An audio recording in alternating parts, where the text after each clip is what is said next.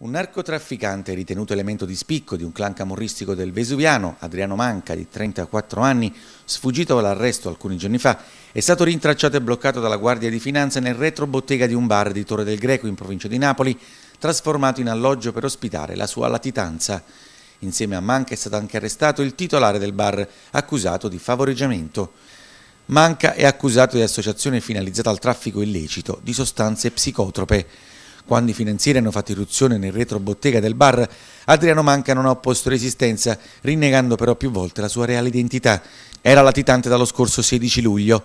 Il suo alloggio era dotato di tutti i comfort, dal televisore ai generi alimentari di ogni tipo.